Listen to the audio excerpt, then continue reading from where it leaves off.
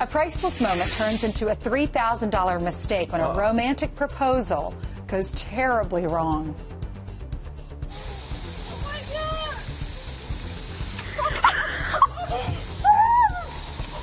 Oh oh no! Oh, he opened the box, Oh, my the ring goodness. popped out. Are you kidding? That happened in a Missouri park. Oh, it went straight goodness. through, down down the bridge, went into the pond below the bridge, never to be seen again. Really? Would it, did Oh, he keep his no. receipt? Could you get your money back? No, you can't get your money back.